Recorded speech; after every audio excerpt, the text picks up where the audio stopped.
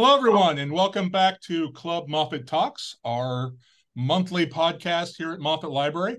As you can tell, I'm not Chris. Chris is out this week because I think he's having his teeth drilled right now or something. He's at the evil dentist this week. Um, but again, I'm Ryan Samuelson. I am the head of public services here at Moffett Library. And I'm Joseph McNeely, and I am an instruction librarian here at Moffett. And today we have two guests, uh, or three guests. Uh, did you guys wish to uh, identify who you are? Jim, we'll start with you. Oh, am I first? I'm Jim Sernoe. I am the chair of the mass communication department, and the Wichitan is uh, part of our department, functions out of uh, the second floor of the D Wing in Fain Fine Arts Center. Um, I'm Cecil Witherspoon. I'm the editor in chief of the Wichitan, sitting here in the second floor of the D Wing of the Fain Fine Arts Center. And I'm Tiffany Haggard, and I'm the business manager of the Wichitan, and I am not sitting on the second floor of the Fain Fine Arts Center. I I did not know that Fain had a second floor. Only the D Wing. Okay. Okay. Well, and and the D wing is is relatively new. Okay. It, it opened six years ago. There That- there are people who still don't even know that that's there. Yeah. Well, I I finished up my degree longer ago than that, so that that probably explains it. I'm gonna duck out for a second because my door's still open, and I think you guys are getting secondary conversations. Give me a sec. Okay.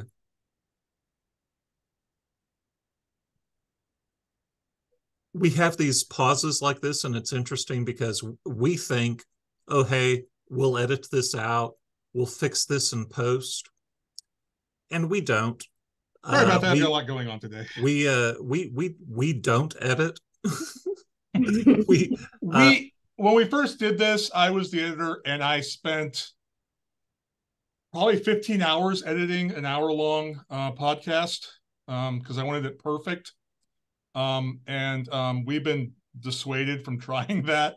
In fact, we've gotten a feedback from people say, um, we like it better when you guys leave the mistakes in. We like it better when you guys leave in your flubs and your and all the things you do wrong because it makes you seem more human. So Mhm. There there's something to be said for not being too slick Mhm. sometimes. It's Sometimes. better than it used to be. There, I think like the second or third one, I actually had people coming up asking reference questions in the middle of my podcast, which was fun. And by fun, I mean not fun at all. Well, that kind of gives it an, you know, like a quality like The Office, you know, where they're talking to the camera and then someone just comes right into the shot. that's not a terrible aspiration and speaking of The Office, do we want to go around and talk about what we are currently involved with as far as uh, what we're reading, what we're watching? I'll continue what I said last month. Um, I am an embedded librarian in a number of um, of English classes uh, this upcoming year, and I still haven't read all of the tech, all the uh, all the books that we're studying. So I've got a big stack of books at home on my table that um, I need to get to at some point, and I've, I've either reread or read for the first time for the class. Um, but that's mostly what I'm going to be involved with for the for the next month, basically. uh we've been moving things around here in the library we're not completely finished with our shifting but a thing that we have completed is we've moved what we call our curriculum materials library it's our youth literature from pre-k through high school uh, and that had been on the second floor it is now on the first floor not terribly far from my office con- conveniently Well, that was the point. Yes. um, and um, in shifting, I discovered a couple of books that I had to grab and read. The one that strictly because of the title I had to grab was this one, which is Monsters Eat Whiny Children. And it's a storybook. It's a quick read uh, by Bruce Kaplan. Um, and it even has a recipe in it, which which I thought was really nice. Uh, and then this is a, a, book that we actually specifically ordered to get in. Um, and I had heard good things about the book, which is this When Aiden Became a Brother. Uh, and this is by Kyle Lukoff. Um, and I'd heard good things about it, but I read it myself and I really enjoyed it. It uh, talks about gender issues in a way that I felt was nice and easy to understand. Um, I liked it. It was a good one. Uh, I've been reading the uh, Dresden Files books by Jim Butcher, and I'm on like the fifth or sixth one now. And I just watched the second season of the TV series version of uh, Lincoln Lawyer, which is based on the Michael Connelly books. I enjoyed that too. How about y'all? Uh, Jim, what have you been reading, watching, doing when you're not going to Europe to teach people? Well, actually, that was going to be my answer because um, having just been in London for a month with our study abroad program, um, I will I will make a shameless plug for that right now. Absolutely. Um, but so I'm I'm reading all things London. I bought a photo book uh, called Then and Now, Ooh. which where they they would take a picture of something currently well, they had some sort of archive photo and then they would take a photo of the same spot now. Mm-hmm. So there's stuff from 1906 and 1950s and it's it's cool to look at. I am also reading a book about it's basically about neighborhood tours mm-hmm. Where you you can just walk the neighborhood and see whatever sites there are to see. And then uh, before I left for London, I started a biography of Edward R. Murrow. Oh. So, and it's very, very long and very, very thick, and it'll take me a while. By the way, I'll point out we're being very academic this week. Usually we talk about the latest Marvel movie or the the latest Star Trek episode or something like that. So don't feel like you have to be as academic as some of us have been. Well, well, actually, part of my answer was going to be what I'm over, and that is Barbenheimer. Uh. I've, I've, I've heard just about all I can hear about it. I didn't care about the Oppenheimer movie, and I still don't. Um, and I'll probably never watch it just because of a lack of interest. And I mean, it can be a beautifully told story, incredibly well acted, but I just I don't care. There's a lot of classic movies that I've never watched and I'm probably never going to, and I won't list them right now because that's not the point. Uh, the Barbie one, on the other oh, hand, good, Joe, because I'll have to tell all the film instructors in the department. yeah, yeah. Was, we, we, we won't do. We Put won't you do on their naughty say, list. Yeah. Uh, I I cared a little bit about the Barbie movie. I have not seen it yet, but my wife and daughter went and saw it and loved it. So I imagine that I will see that one. I may wait till it gets to streaming. I may not go to the theater for it, but I, I, I think I will be watching that at some point. Well, see, and I have felt guilty about not seeing Oppenheimer because I feel like as an academic I should. Mm-hmm. But sitting there for three hours, I don't I don't know if I can do it. Yeah. I mean, I already did that with Waterworld. I mean, is it really going to be a better movie than that?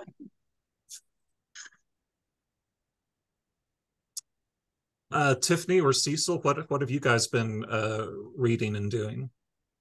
Well, I was going to comment on the Barbenheimer.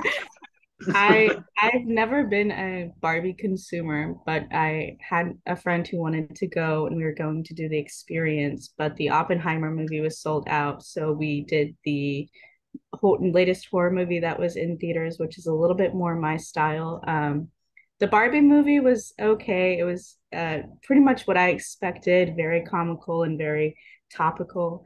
Um, I really liked the new horror movie that was out. I had a feeling it's called Talk to Me, and it's about a hand where if you grab the hand, um, it's I think it's ceramic or something. When you grab it and you say "Talk to me," uh, you get um, possessed essentially by a spirit. So it sounded very, you know, uh, stereotypical as far as like a lot of the horror movies recently, but it had a pretty surprising ending, I guess, that made it stand out a little bit. So I liked that movie more than I thought I would, and I liked the Barbie movie just as much as I thought I would, which was so so.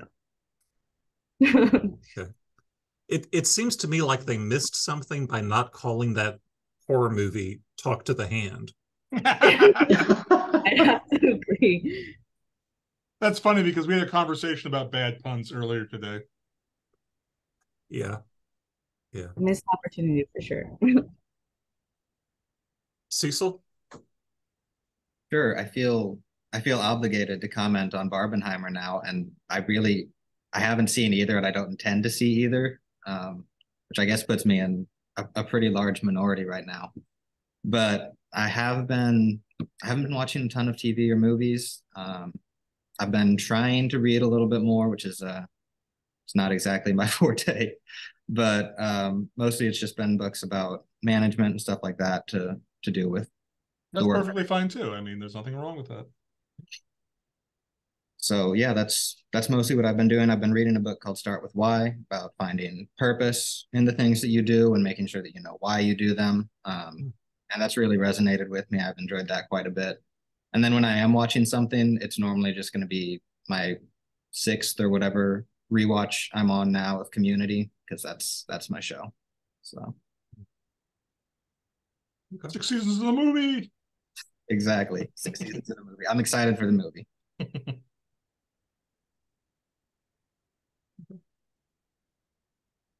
Here's the part where we get quiet because we don't know what else to say. Uh, I guess we'll start with um, Does someone want to describe what the Wichitan is? Yeah, yeah, I'll, I'll jump on that. Um, the Wichitan is at its at its most basic, it's a student run newspaper. So, and it is truly a student run newspaper. We have our decision, we make our own decisions on what stories we do, how we do them. We take our own photos, we do our own design layouts and we do our own publication and it's completely student run um, we make our decisions from the top down. We make our own personnel decisions. And every semester we start over with a new staff. Um, some people will stay on some people will change. Um, but yeah that's that's more or less what we do. I think it's important to throw in here that people people kind of get scared off by the new the word newspaper. And the the Wichitan doesn't do a printed version anymore. And not because it, it's kind of gone out of style but during covid you know no student newspapers were printing a, a printed version because there was no one on their campuses. When we started coming out of covid we we had a discussion about do we want to bring back the printed version? Um, and someday i hope we will but for the moment we are online only. I remember as a wow that's a lot of feedback. Uh, I, I remember as a, as a student really enjoying the stack of the Wichitan, and I would look forward to it being there and and and grabbing it to because there would all inevitably be someone that I knew that was somewhere in the paper with uh, polls or you know the man on the street questions kinds of things that there would be or because of involvement with the theater or various things i i really liked that aspect and and sometimes i'd get the news of you know something that i otherwise would not have have heard about. Um, and yeah, I, I I loved grabbing that physical copy as a student. Um, yeah, it's convenient to have the online one now. Uh, I don't know. I, I am sure that both things are, are are good in their own way, but there's I don't know so, something just tactilely uh, satisfying about grabbing it off the stack and and that that really speaks to one of my frustrations because when there's a stack it's right there and and it you are encouraged to to take one. Now you may or may not read every article. You may just look for, like you said, people you know, or you know, I'm I'm a theater major. I'm going to look for stuff on theater, or I'm an athlete. I'm going to look for stuff on sport, whatever it is. With the online, you know, I I send out a link every time we we publish. I send it to all the faculty and staff. And you, you may or may not click on that link, you know. I, I I have no doubt 80% say, oh well, there's that link again. I don't care, delete. And and I think when you walk past a physical copy, it's a little tougher to, to resist. But I and I don't know what to do about that in our our day of junk email and spam and everything else. Information overload. Yeah, it, it happens even with important messages. I'll have to send things two or three times to professors because there's such they they love that delete button. They love that. Oh, hmm. this I don't recognize this immediately. Delete. I've got a question. Um, I've been here for 24 years.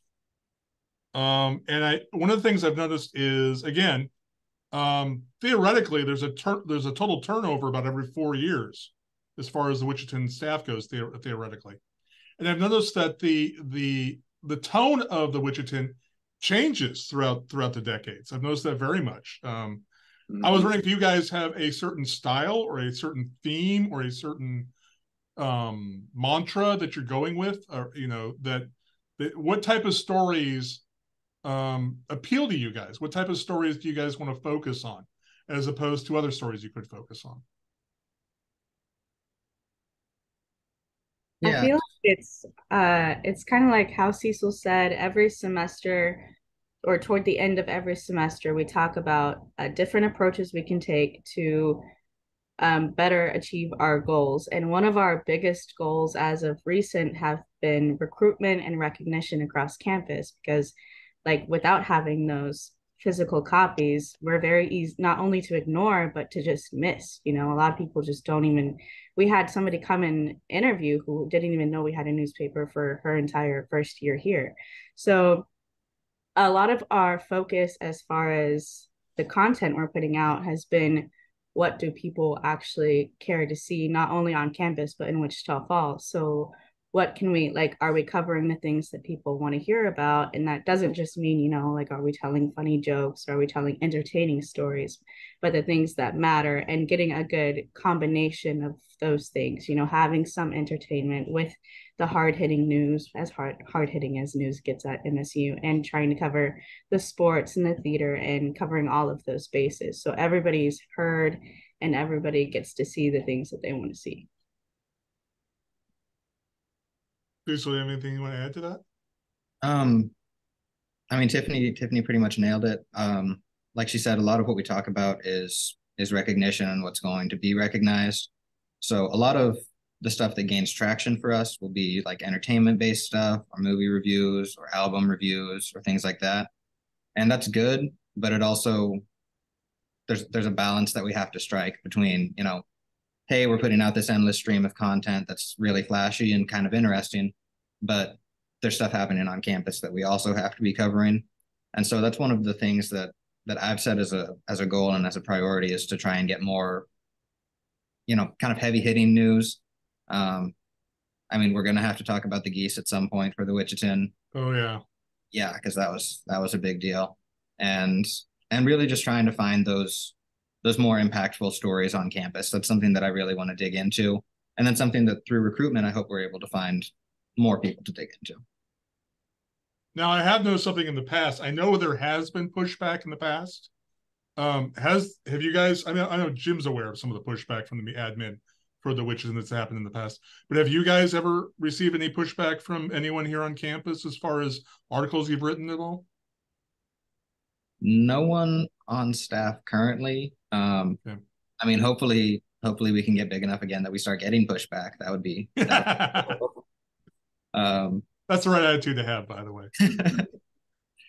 no, I can't think of anything at the moment. And and I would I would tag team on on that and the the comment about you know the tone of the paper and and how things have evolved over the years. You know i've i've been here well we'll just say a little longer than ryan. And and when i started i was actually Wichitan advisor. And there was a very very heavy push on day to day news right the board of regents met the, the faculty senate met here are the faculty retiring this year. I mean, all those kinds of things. What I think it's evolved to is more, there's still some of that. I mean, Cecil became editor, you know, what, one day before Dr. Mazachek resigned. Pretty much. Uh, right. And so Cecil and I sat down and said, okay, well, you know, you got to get moving on this. You can't ignore it. But beyond that, I there's been more on things like race and diversity. Um, I mean, just kind of the bigger issues of, of our day. And I, I think that's one example of, of where being online gives you an advantage. The, the paper version, you just, that much depth would have been a little more difficult. Um, That's true. I hadn't thought about that. Yeah. As far as pushback.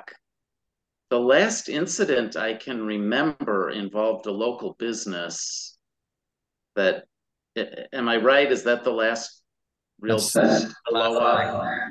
Um, they, they had some sort of ambassador program.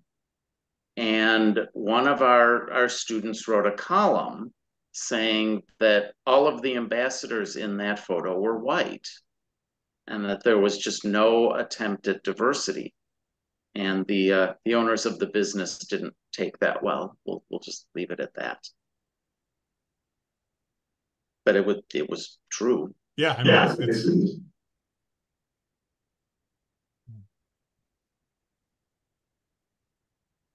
what leads you I what one thing about the the hard copy versus the online is I just feel like, you know, stop the presses has more of a ring to it than don't hit the enter button yet.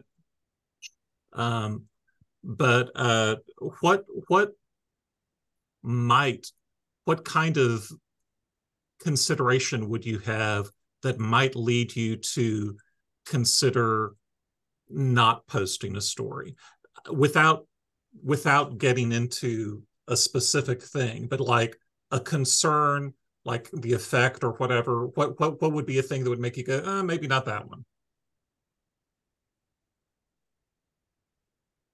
That's a that's a good question. Um the number one thing is going to be verification. If i have a story and i'm not 100% sure of every fact that's in it that's going to be the number one thing that's going to stop me from publishing um, other factors that are going to play into that that are going to make that way especially heavily is obviously you want to be sensitive about certain topics. Um, there was uh, there was a death of a student last semester, and that was something you have to be really really careful about because you don't want family members finding out from you know a school newspaper. That's something that you want to make sure that you give proper time and proper process too. Um, but yeah, really just just issues like that. And once you get past that sort of thing, there's really not a lot that's going to stop you. You don't, you have the luxury actually. The I, I find it very enjoyable to know that I don't have to worry about what higher ups at the university think because if it's news, it's news and it's going to be published. Um, so yeah, I mean, really, you just you try to be sensitive in in cases where it's it's not super relevant to the student body, and you you do have to weigh being tasteful there. Um, I don't think I'm articulating this very well, but it's something I have discussed in length with Dr. Sernoe in classes and and in conversations. Yeah, and I think on top of that, when we're hitting like harder hitting subjects like that, we go into further discussion, not necessarily about whether or not we should release something, but what's the most beneficial approach to release on this topic. So usually whenever we're having our meetings and we're talking about something like that, a good bit of our discussion goes into what what should we be talking about here? Like what is the news here? And that usually brings us to a point where we're not releasing something that shouldn't be released. I had another question, but it's it's it's unfortunately I've got a five second memory anymore. It's just gone from my head. well, let, let me uh, let me add something to what Tiffany and Cecil have said, and maybe it'll come back to your brain. Um, what what Cecil said before about that it's it's truly a student run operation. I I really need to emphasize that. Um, and I've gotten calls both when I was advisor and now that I'm chair, when someone has said, Why did you let them publish that? Whether it was an entire story or a photo or one fact in one story or whatever it was. And my answer is A, the First Amendment and, and case law prohibit me from, from interfering. All right. Now I can say all day long, you have spelled cat with two T's and but if they want to spell it that way and publish it that way, that is their First Amendment right. All right. Um, so that's part A. But part B is, you know, students do not learn to be responsible journalists or, or responsible anything if if the faculty are making the decisions. All right. I mean, that's that's true. That's not just true with with the Wichitan. That's all mass media. That's anything of a practical nature. You're you're not going to become a good engineer or a good accountant if the faculty are doing your work for you. You know, you have to learn it. So so that those are the reasons we don't get involved. Now, after the fact, you know, Cecil's right. The administration can't come in and say, we, we forbid you from, from publishing that. They can raise a stink afterward. They can say you blew it, you, you made a mistake, or we're just, or you didn't make a mistake, but we're still upset about it. All right. I, I can say privately to Cecil or Tiffany or whoever, well, I, I might not have done, I don't think I've ever done that actually, but you know, I I can, or the the the faculty advisor can. Um, so it's it's not like they're completely immune from criticism. Mm-hmm. But but yeah, prior restraint is is completely illegal and and unethical. I'm gonna come back to this in a second, but I remember what my second question was. Oh, good. Uh, uh, now that we've got, let me let me let me pivot away from negative feedback and talk about p- positive feedback. Have you do you guys have avenues where you get positive feedback from uh, the community, uh, the faculty, the staff, the students? I think a lot of our positive feedback from on campus comes from whenever we're covering things like if we cover the theater department, we get positive feedback from the people in the theater department, the people in those plays and then as far as the community, um, we do ad reach out where we go that we go out into the community and we ask if they'd like to purchase an ad. And usually by the time we complete the process of do you want us to design your ad? Do you want it where how what size? Things like that. Um, we'll normally get a comment that, you know, is a good working process, very organized, things like that. Um, I don't know if I've personally ever just heard, wow, Wichitan's just so wonderful and ex- exemplary, but Cecil might because he gets the commentary more often than I do. Um, to to add to that, um, first, not to take anything away from what Tiffany does, because a lot of the stuff that she does is behind the scenes that just the Wichitan wouldn't work without somebody doing that and doing it very well. Um, but as far as positive feedback, every once in a while, yeah. Um, I remember back when I was sports editor, and I had really no business being sports editor, but um, I started this this series because it's a it publishes every two weeks, so we couldn't really do every game. Started this series that was just like a season overview of where different sports were at the time, and I would have people asking me about that. Um, and I think people ironically enjoyed that series uh, because because I didn't genuinely enjoy doing it, so I find it very unlikely that that people were were really excited about it. But that was fun.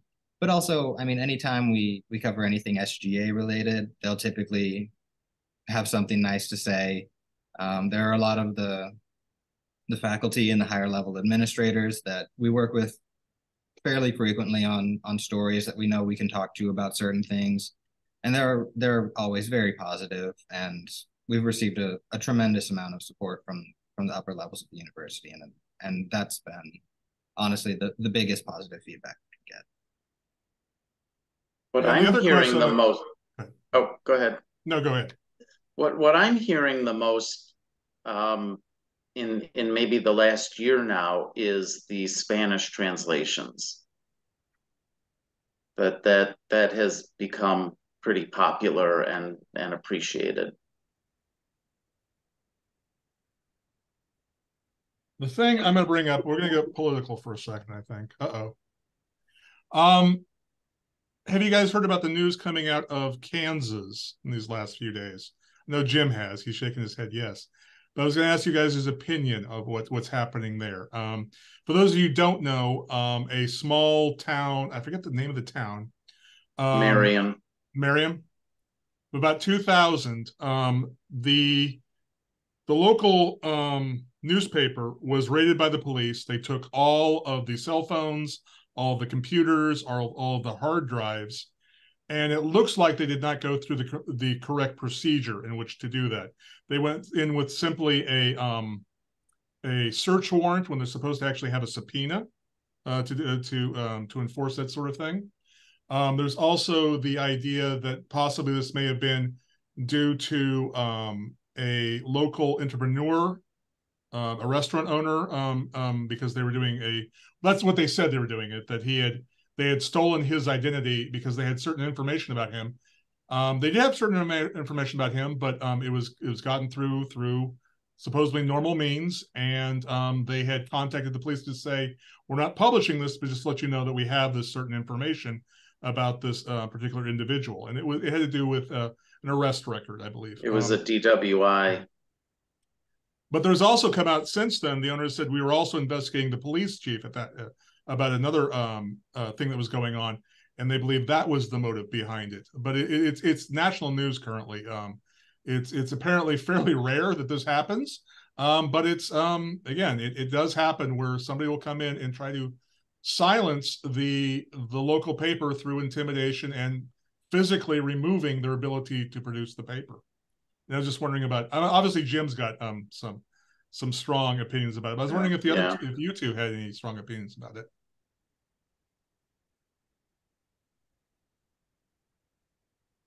I mean, I can I can say personally, I'm I'm a big advocate of the First Amendment. I'm a big proponent of the First Amendment. Um, so yeah, that's that's that's troubling. Um, but I think it's also, while it's it's obviously a, a rough situation for them, it's good overall that it's national news. It's good that this isn't something that can happen and just be immediately swept under the rug. Mm-hmm. Uh, and it's it's fantastic that national news outlets are picking that up and supporting smaller, more localized journalistic outlets. Um, so, I mean, obviously, you you hope for the paper there that they are able to to recover well and come out of this in a good place. But I I do think it speaks to the fact that the free speech is is very much still alive and well in many many ways in this country.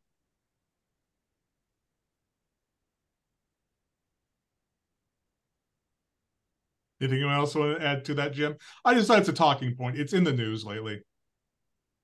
Yeah, it um the it, one one part of this that that we haven't discussed yet is the the editor's home was also part of this raid. It wasn't just the newspaper office.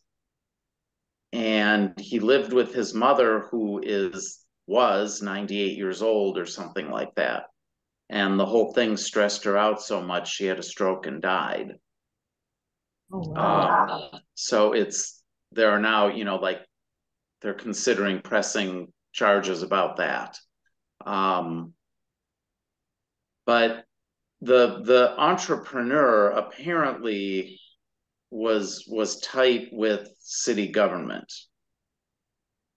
And and it, it the editor apparently verified that there was a DWI on some sort of public database but then was accused of somehow identity theft that they they had the entrepreneur's license driver's license number something like that. I would have to read more to before i would swear to that but um so it it so their their cover was well we we can we can search because we think there was a probable crime committed but but that seems like a pretty flimsy cover when when it was well you're you're putting out this news about someone we like. And it's a, it's a small town. The part about the police chief being investigated i didn't know that part. That's one of the things the, the owner had said la- uh, later on uh, he said that they had um, he said the only information they had about that was on their hard drives too and those are probably gone now um, so.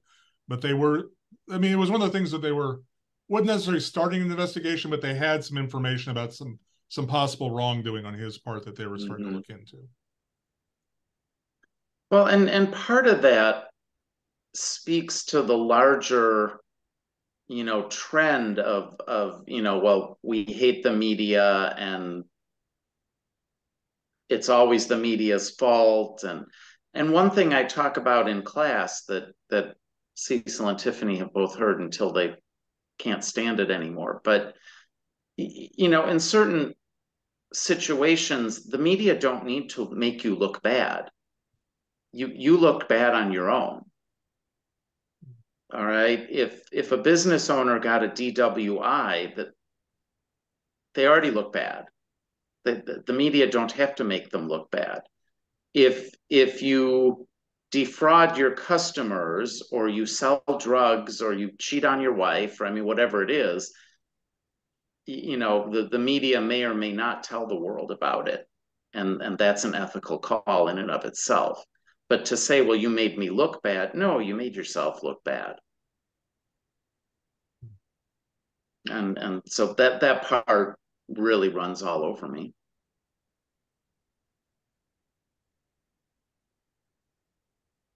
You, uh, yeah. can't can't blame the mirror for your fashion choices. yeah. Uh, and and that kind of thing has happened on a, a smaller level with the Wichitan. Yeah. When a fraternity is investigated for hazing or, or something like that, and we report on it, um, back in the days of a physical issue, there were fraternities who took every newspaper and threw it out. And, and again, well, if, if you weren't hazing your pledges, we, we wouldn't write about it.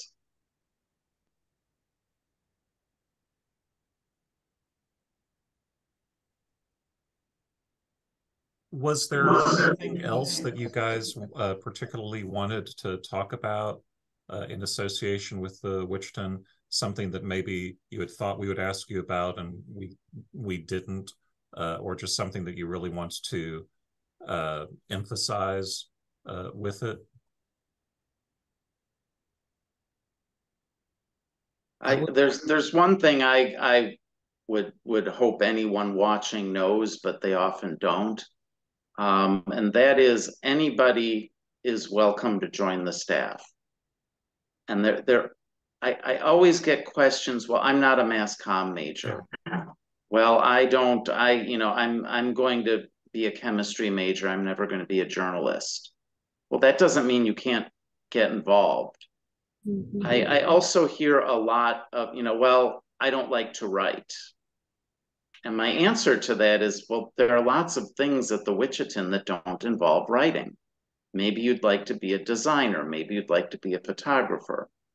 Maybe you'd like to join Tiffany's department and sell and design advertising. And, and so it's it's really it's open to all, and I think sometimes people miss that. And I'll just I'll just add too that, that that's that's an epi, that's a that's a a problem that's throughout this campus because I've also heard um, Mhm. people say um, from for instance the um, the local uh, the local theater group they say anybody can take part in our theater productions you don't have to be a theater major the marching band says anybody can play an instrument Mhm. can join the marching band you don't have to be a music major and I'll say that to all the students if there's something you enjoy it doesn't matter if if it's your major or not if it's something you enjoy right. and there's a group here on campus involved with it, get involved. I mean, it, these groups are open to every single student here. So Mhm. don't think just because, oh, it's not my major, it's not something I'm focusing on professionally, but something I do for fun. Don't think that that's that should be an obstacle for you to get involved with the local clubs here on and the local organizations uh, here on campus. Definitely. Yeah, and and I'll add to that that Tiffany and I are, are masscom majors. I think Tiffany, you're you're a double major, correct? But my my managing editor is a biochem major. Um, I I just talked to our new photography editor today. She's a nursing major, and not only is that something that's open to everyone from across campus, but it's encouraged for everyone across campus. Because truthfully you know as much as we want to think that that we can cover everything in a spectacular manner and know everything that's going on we're students first and that's a that's a big time sink. So to have somebody to have people from across campus that participate in this is a strength for our organization because then we have better insight into what's happening in centennial we have better insight into what's happening in py we have people that know what's going on there we have people that know people there and it just makes it that much easier for us to share the stories that need to be shared with the entire student body when we have representatives from across campus. And I will say the years in which there was um, someone on the Wichitan who actually worked here in the library, there were a lot more stories about the library during those years. Yeah, the the the social media. I don't know what Rebecca's title is. Social media manager, or Uh, yeah, she's a theater major. Um, the there have been a couple of editors before Cecil. One was a social work major. We had a history major. We had an education major. So yeah, it's it really is open to anybody.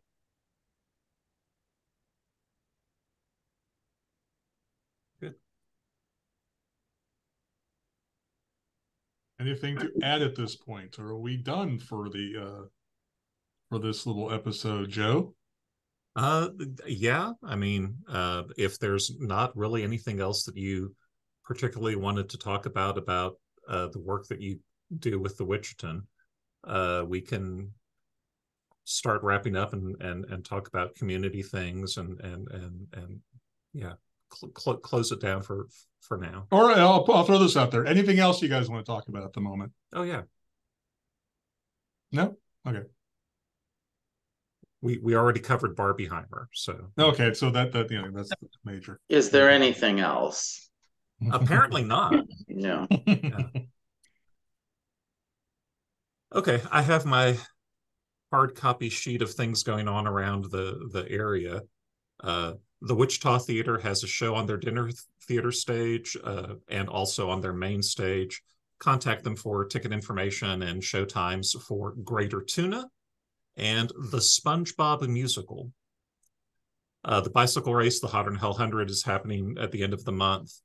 Uh, the Wichita Falls uh, Museum of Art uh, at MSU Texas is hosting a milk carton intaglio workshop. I don't know that I said that correctly. Uh, from 2 to 4, Friday, August the tw- 25th. Uh, participants will use milk cartons as a base for ink printing. Uh, workshop is free, all materials are provided. Uh, come to Moffett Theater at the beginning of the uh, Moffett Library uh, at the beginning of the semester for therapy dogs.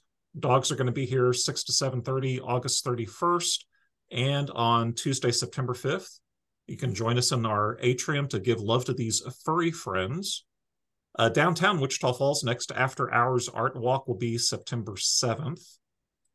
Uh, Live at the Lake will host the James Cook Band from 6 to 8 Thursday, September 7th, and the G Top Band from 6 to 8 on September 21st. On both of those nights, the Gypsy Kid food truck will be on hand, so you can call the museum for more information. And here, please go ahead and start making plans now to attend Moffett Library's Halloween event, Rooftop Heroes and Tabletop Terrors. We'll have games to play, costume contests, special presentations, and much, much more.